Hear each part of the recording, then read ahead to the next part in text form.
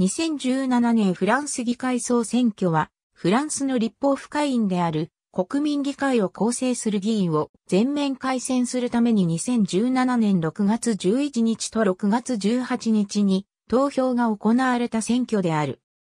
国民議会議員の任期5年が満了したことに伴って行われた選挙で想定数577議席を改選した。先月5月の大統領選挙で当選したエマニュエル・マクロン大統領が選挙直前に結成した新党で選挙前には議席がなかった共和国前進が議会の過半数を抑えることができるかが焦点となった。共和国前進は民主運動と正式に選挙協力を実施。それでも中道左派、中道派の他党の大半はマクロン新大統領の支持を表明して選挙戦を展開した。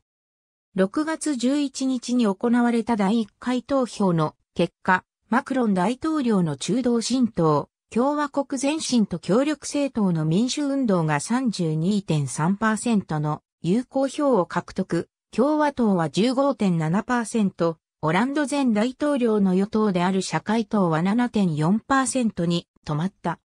第1回投票で当選者が決まらなかった573選挙区で6月18日に行われた決選投票では共和国前進が308議席を獲得、協力政党の民主運動と合わせると350議席となって国民議会の6割を占めて対象。